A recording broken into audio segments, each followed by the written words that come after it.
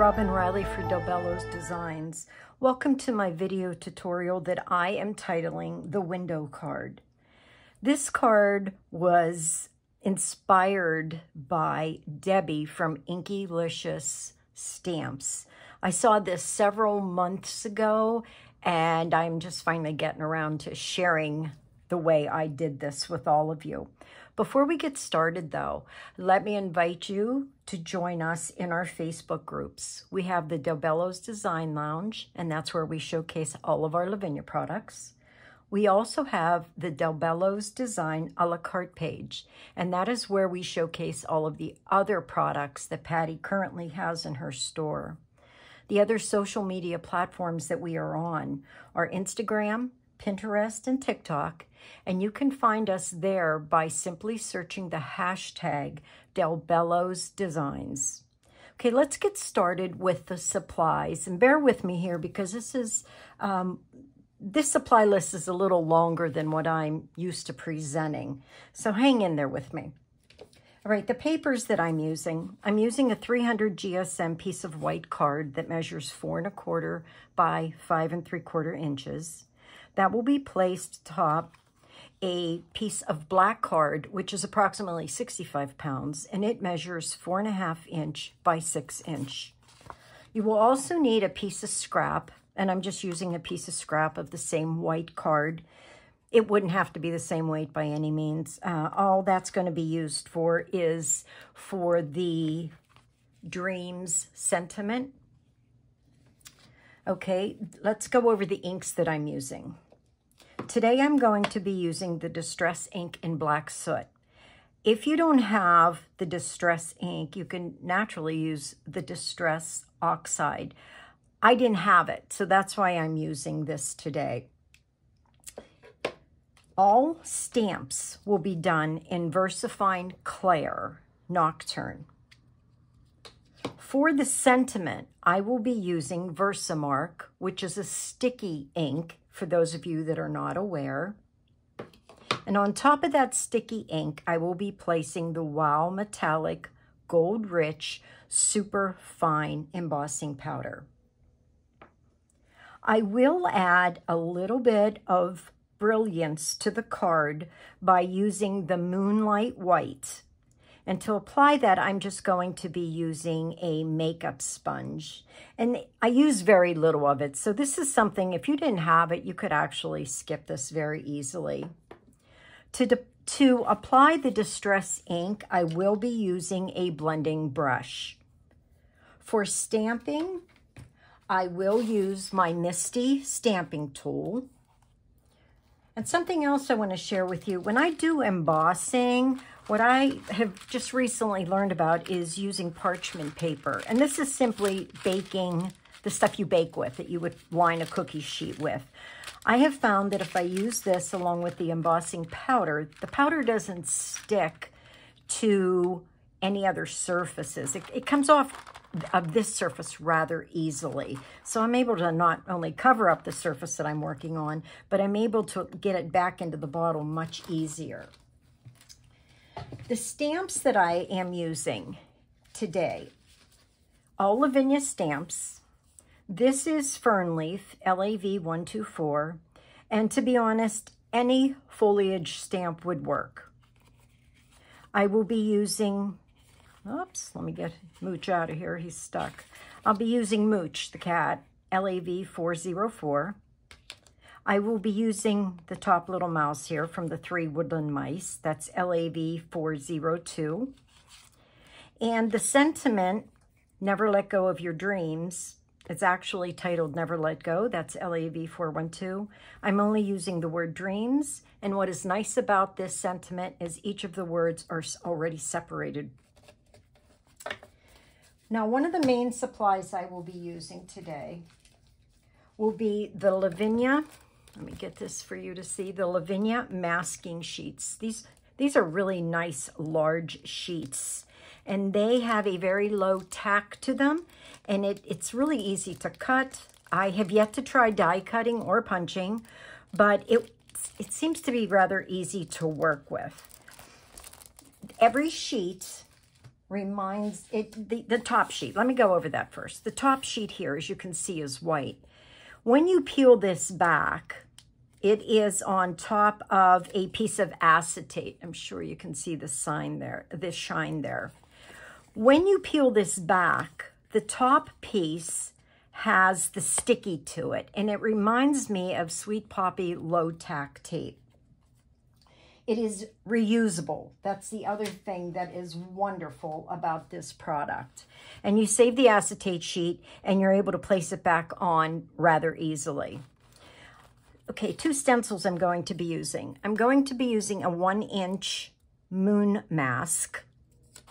And at the time that I made this particular card, I had used a, another brand's brick wall. But since then, Lavinia came out with the block print stencil. And I'm going to use that today because I think that resembles a nice brick wall. That should give some interest to the um, card itself. Okay, I think, now I forgot to tell you the adhesive I used. Art Glitter Designers Dry Clear Adhesive. And that will be just to adhere everything. I will be using my spray bottle mainly just to clear my stamp, clean my stamps along with the uh, microfiber cloth that I use. And um, lastly, a piece of paper towel. And that is how I create the clouds in the background. The final supplies that I'll be using. You most definitely have to have a very fine line black marker. I like to use the I like to use the Prismacolor and this is number 01. It's extremely fine tipped and I'll explain why you want to use a black ink marker in a moment. I'll be using the Uniball Signo white pen. That creates some highlights. I will be shading with the Stabilo black chalk pencil. And I am using a gold Sharpie. Not sure if you noticed, but I edged the white card in gold to give the appearance of a gold layer behind the card. Okay, let's get started. Let me grab my card first. And I'm going to explain about that black pen and why it is important. Now, you'll see this kind of looks a tad bit tattered. This is my stencil that I created for the window. And what I did is I took a piece of lightweight card. You can see my middle line that I drew. And I created the window shape. Once I had this shape created, I placed it on a piece of the masking paper, which I measured to fit my card, and I traced my shape around, then using a craft knife, which you wouldn't have to use a craft knife, you could use a pair of scissors, you trim out the window. But you need to be careful doing that because you're you want to use that window as a mask while we are working here. Okay, let's get started. I'm going to carefully peel this apart. Now this part takes a little bit of patience. I will say that. I had to try a few attempts before I felt somewhat comfortable using this. Don't worry if there's a little tear in the corner because remember, this is sticky back and it's going to adhere to the card.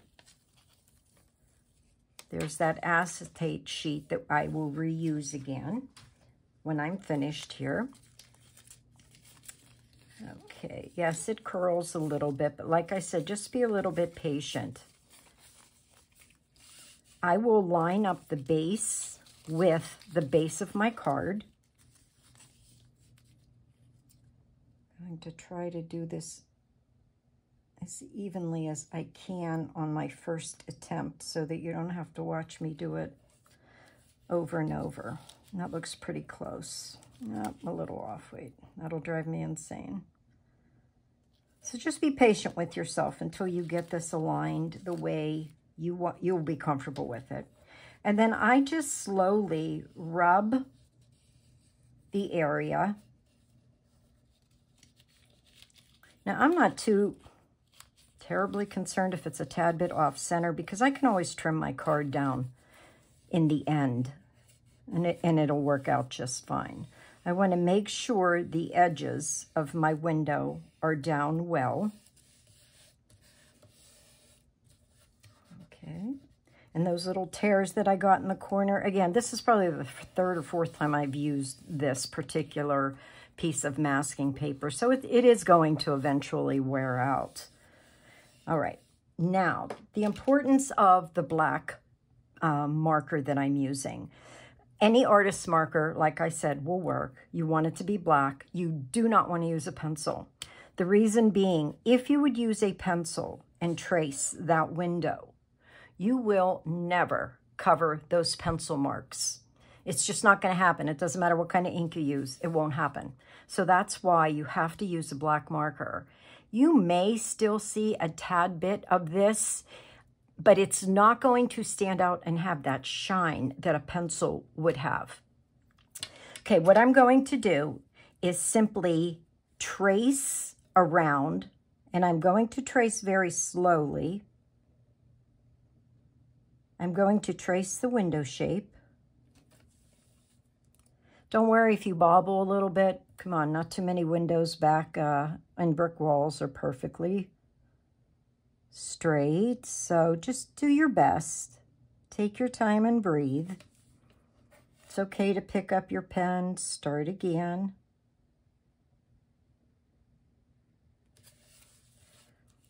And I have to spin my artwork. I, I That's just the only way I can do it so that I'm capable of seeing what I'm doing.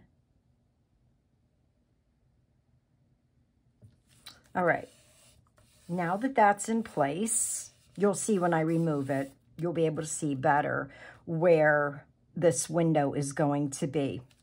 What I'm going to do is I'm going to bring in the cutout. And this is how you create your window ledge. You decide how deep you want your window ledge to appear. So start at that point. Make sure you get this as straight as possible so that your window ledge looks legit. And then you just line up the edge with the utmost point of your window. And very carefully and slowly trace that mask.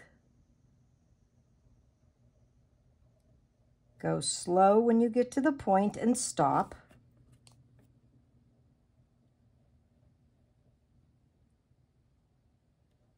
All right, I got a little dip there, but I'm not going to be too concerned about that. What I'm going to do is retrace this a little bit. This is real life, guys. This is what happens. But I'm pretty sure in the end, you're not going to notice that little bit because I'm going to be stamping a mouse there. It'll all work out. So don't panic if you do what I just did. Okay, Let's look at this window a little bit. And we're going to work from the inside of the window outwards. I think that's actually the easiest way so that you don't get frustrated. So let's first start with the moon. I'm going to place that one inch circle approximately where I want that moon to be. And I'm going to bring in my Distress ink the black soot using my blending brush. And I want to knock off as much of this as I possibly can because I don't want this to be too dark. If you get some dark splotches, oh, don't worry about it. it it's all going to work out in the end. But try to start out with the lightest layer possible. And just right on top of the masking tape, don't worry if you hit the window ledge just go ahead and get at it. I first want to just get my moon set, and I am doing just a super light coating around my moon. I have to switch hands. That's the only way I can do this properly. All right, there, that's enough of a moon. I don't want anything more prominent than that. And I just noticed I forgot to finish my window ledge. Sorry about that. Let me go back here, guys. All you're going to do here to finish that ledge, use that mask that you created. And from corner to corner, you're going to draw a straight line. Again, using that marker. Ah, there, that looks better. Goodness gracious. Okay, now I'm going to go back in. I'm not getting any more ink. And I'm going to apply just another fine light layer of the black soot. I don't want to get too carried away in the night sky. Now I'm going to bring in my piece of paper towel and I'm actually going to tear on this side. I don't need that large of an area referring here. I just need a small area to create my clouds. I need to put my paper at an angle just because that's me. But how you do this is you just lay your paper towel in the area where you want your cloud to appear. Using a little ink, I just brush down, trying not to run into the window, ledge, or side. And if I do, I'm not going to worry about it because I'm going to, going to be able to cover it up. This is rather forgiving. Okay, I need a little more ink so we can see that cloud.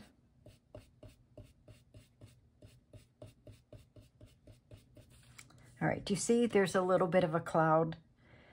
All mm-hmm. right, I'm going to continue doing the same.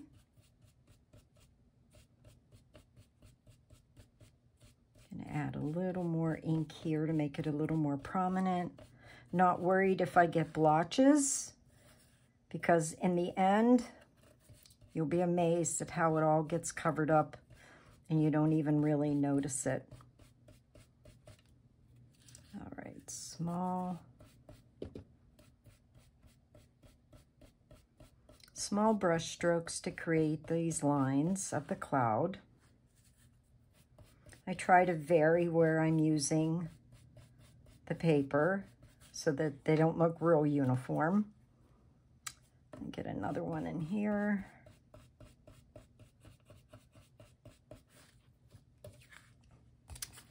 Okay. Let me add another one here. Just for interest. So easy way to create some clouds in the background. You can do a couple, you can even do one over the moon if you want, something real light. A little bit of interest there, see? Okay, I'm going to just add some more gray on my, or black, I'm sorry, the black soot on this windowsill.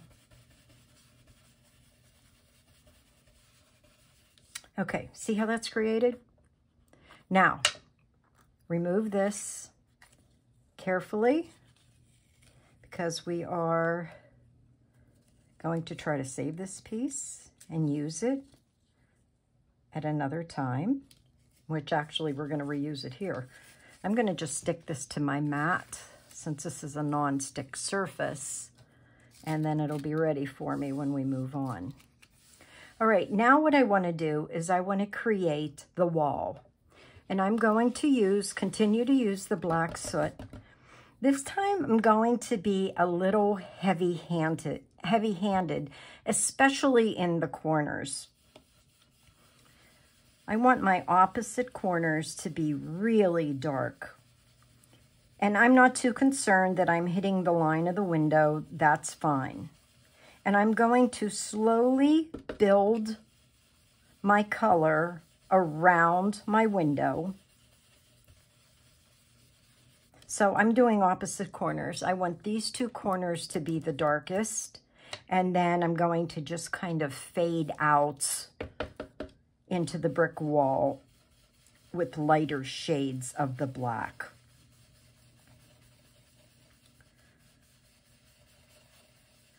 Okay, now I'm going to do a cheat. You don't need to sit here and watch me continue to blend over and over until I get happy with this. I've already gone ahead and done one. So you can see where we started. And here you can see actually a much better version. So let's continue on with this one so that you don't become too bored watching me blending colors. Okay, what I'm going to do though is I am going to add just a little more black in these corners. I want this to be darker. And as you can see, I, am guessing that's probably about my fifth layer of black, um, possibly even more. I kind of lost count. But that's how I do it, to slowly build layers. And the slower you can build your layers, the better your results will be, without a doubt. Okay, let me just get that in there. All right, there we go. I'm going to call that quits for right now. I think that's good enough. Okay, now the next step, what I'm going to do is I am going to bring back my mask that I created as it all curls up on me. Why not? It's so humid here. We've had such a spell of humidity here in western Pennsylvania. It's been crazy. I don't remember it ever being this bad this late into the summer, but anyway, enough. I'm going to reposition this back onto my card. My main concern is to get the right side lined up the best I can because I want to stamp the full foliage next. So I'm if, if I'm off just a tad bit on the left side, I'm not gonna I'm not gonna stress over that. Like I said, my concern is right here on the right, and I'm going to get that as close as I can. If it's not perfect, no sweat. There's always a way to fix this. Okay, so that worked out actually rather well, a lot better than I expected. Okay, so let me bring in my MISTI stamping tool. And I'm going to position this. I'm not worried about that crease, so don't worry about it, guys. It's, it's all okay. And I'm going to go ahead and grab that fern leaf. And I just want to give the appearance of the fern, let me show you again, coming from the outside of the window. So let me place that about there. I think that's good. Get another magnet on there just for safety reasons. And I'm going to use the VersaFine Clair Nocturne. Catch the edge of this.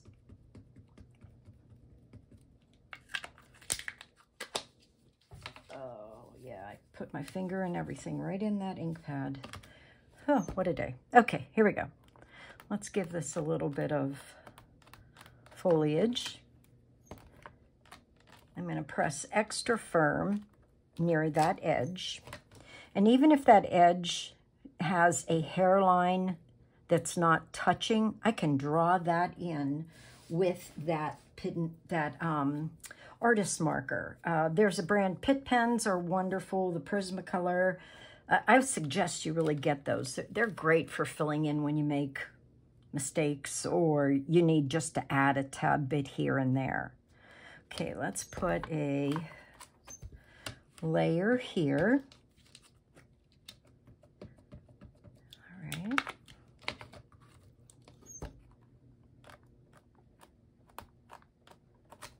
All right, that one came out rather well.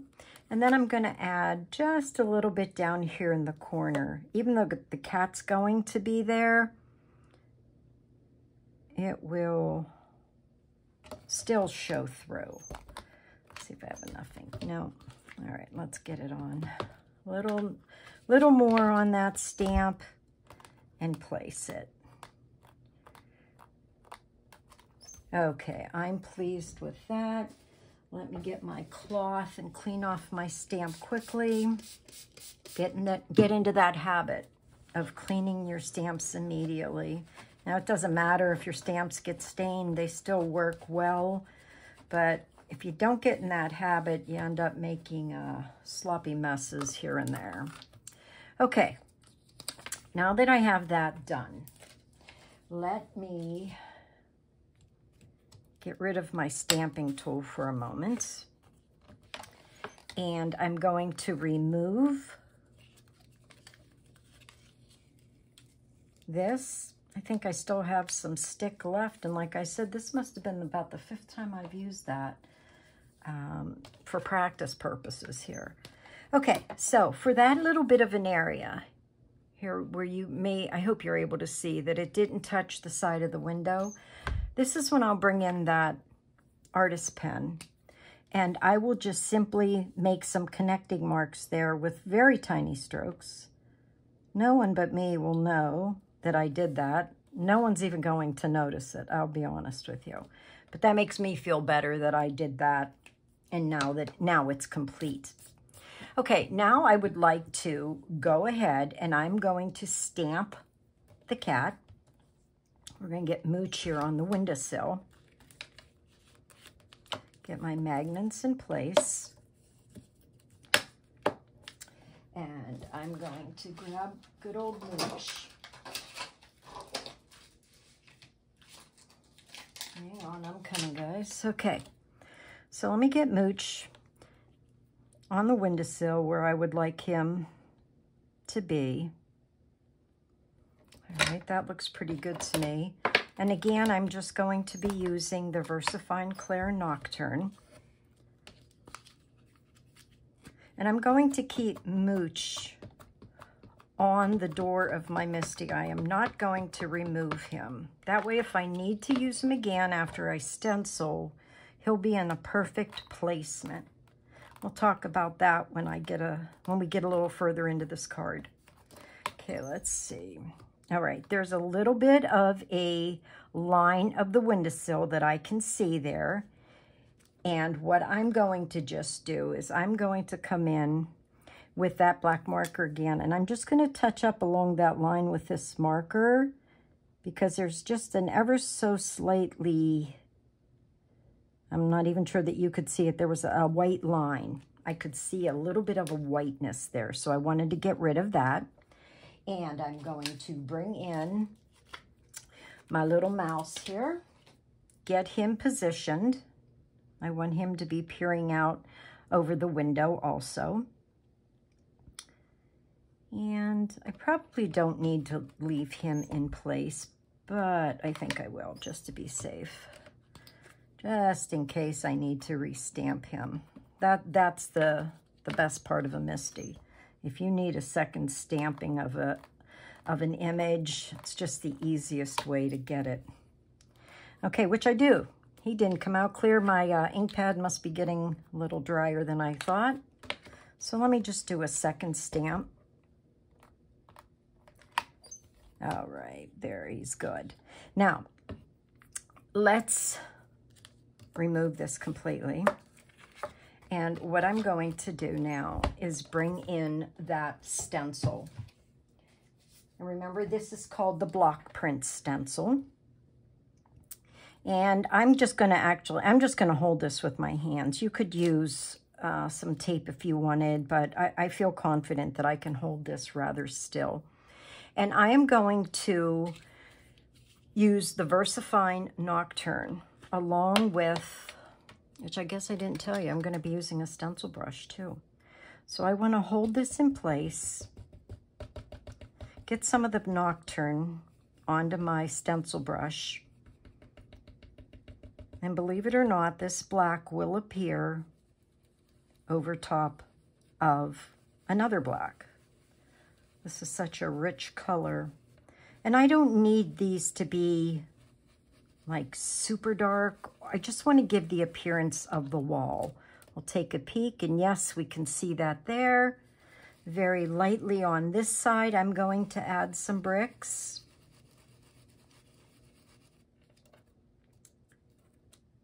Make it a little bit more. Going to add some bricks here in this corner.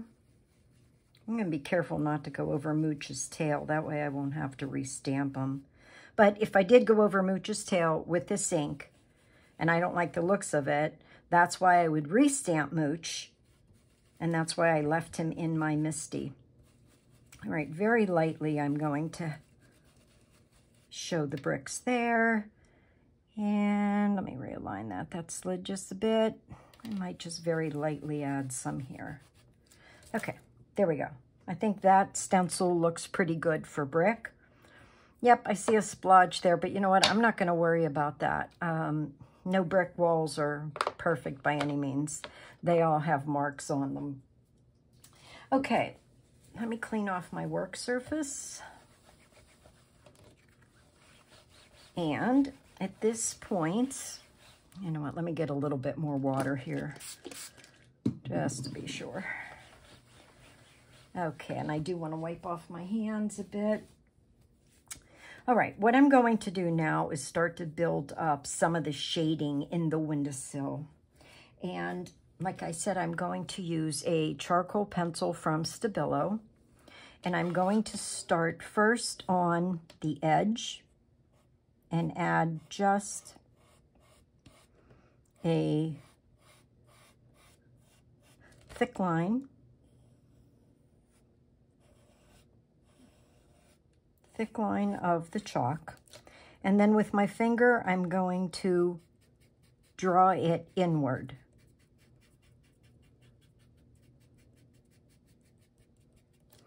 Same thing here in the corner. I want to get some darker areas. Going to drag that in. Remember, this is a pencil, so if you go outside of, outside of the line, you can very carefully use an eraser to pull some of that off.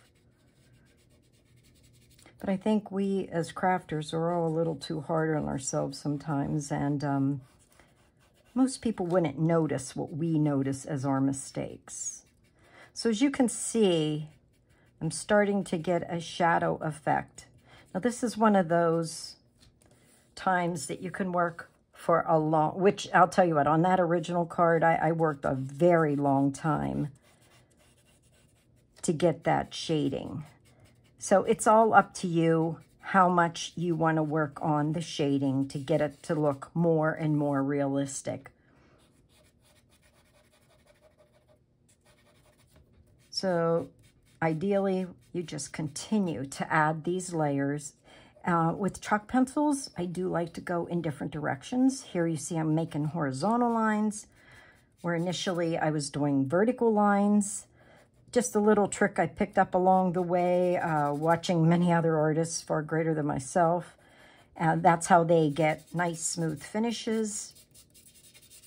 But there, you can see how that's starting to develop. So I would want to get some under mooch here I don't want a whole lot because the moon is shining in here and it, I want to keep an area that is somewhat lighter. Now, if you really wanted to get carried away with the shading, you can go in and shade in some of the bricks, which that's how I'm going to get rid of this mess up here, shading over that brick. But you can see that just adds more dimension to your picture. It adds more dimension to your wall. So we could do this for a long time. Again, I just don't want to bore you watching me do that, but just showing you that you can add more dimension by adding some lines. And I, I would highly recommend that you get a set of chalk pencils. They're pretty amazing. Uh, I believe regular colored pencils would work. Um, you could give it a try. Um, I'm sure that's what I was using way before I got my chalk pencils. So you just learn how to uh, practice with your colored pencils and blending. There's so many videos online, you guys all know that, that you can find ways to teach yourself all kind of stuff. Okay, so you can see here how this is slowly being created. Again, I don't want to bore you with this. But, oh goodness, I love shading. I, I could sit and do this for the longest time. You, you can't believe how many hours I've put in just shading one picture. But you can see it's really not that hard. You just slowly build each layer and add to it. That's, that's it. Now, let me show you how I did that gold edging around the paper. What I do is I save my scraps from my Lavinia products. I love these papers. I know you guys all recognize these sheets. So I use that when I'm creating a frame around a card. What I do is I take, I lay my card on one, sandwich it between a top piece, put this to the very edge. I leave myself, oh, 16th of an inch, maybe an 18th of an inch of the card actually sticking out. Using that gold Sharpie, I very slowly run it along the edge. A lot of pressure on my right hand holding the card down. Then I rotate my picture and I do the same exact thing over again. The minute you get too confident and you let the weight off of this right hand is the minute that marker is going to slip. And I think for those of you that have done this method of framing a card, it, I think it's happened to all of us. So take your time. That's the biggest tip I can give you for creating these types of frames and use pressure on the hand that holds your card in place. All right, one last side. Okay, see, I hope you can see that gold frame. It just gives it, a, I, I like doing that. I think it just gives it a nice faux layer. Now, rather quickly, let me bring in that scrap piece of paper. And I'm going to create, create my sentiment. I am going to use the ink that's left. Hopefully there's enough on here. I'm going to ink up this scratch piece of paper. I am not concerned whatsoever about any of the blotching or unevenness that's going to be created here. All right, that's good. I'm going to bring in that stencil one more time. And again, I'm not going to re-ink. I think I have plenty so that I can see somewhat of a brick wall. Let's see how that came out. Yeah, yeah, that's perfect.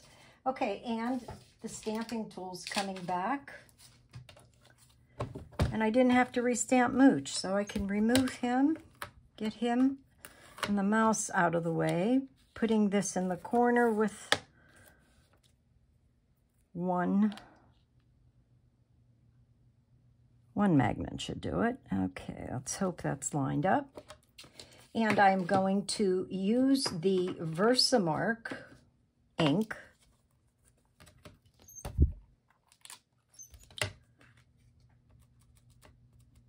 Oh, I have to remember, you know what? I just re-inked that last night, and I bet you that is super moist. Let me do that again.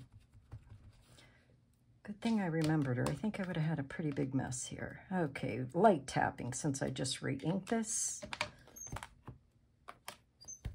Yeah, that worked. I would have had a real mess. Okay, let me bring in my parchment paper along with the fine gold. Now, granted, you don't have to put a sentiment on yours. I just want you to see how I did this in case you're interested in doing that.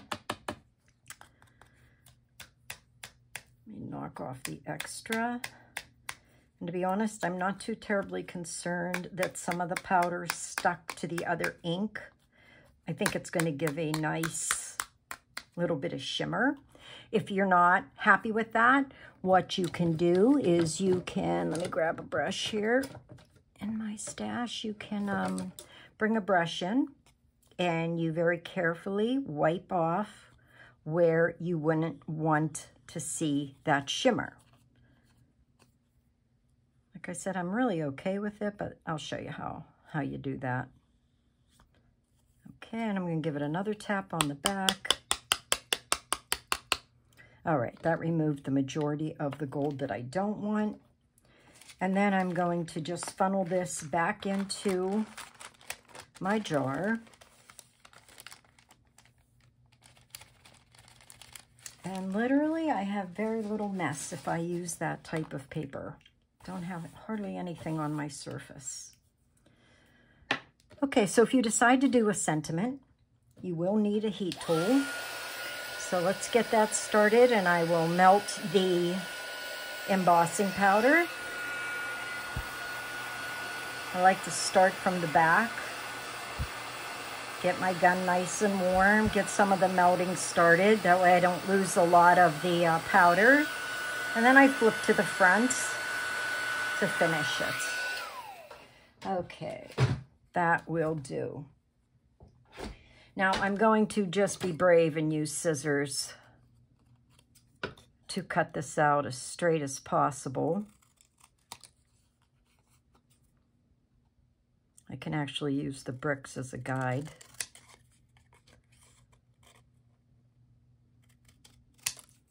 Okay, that worked. There we go. And then I'm going to bring those Lavinia pieces back in here that I used. Okay, and I'm going to add a little more gold around that piece so that it pops a bit. Even something this small, I do not trust myself to draw that line along the edge. Too many mishaps. Okay, one more to go. Now, if you wanted some dimension, you could use some pop dots and pop this word dreams off of your card, but I'm just going to go flat with it. Let me move this out of the way. And my art glitter glue is going to be used just to adhere this to the corner.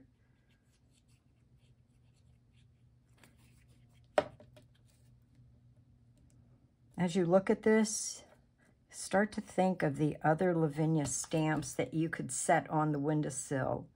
I've done several of these cards and I've tried different animals. They work out great.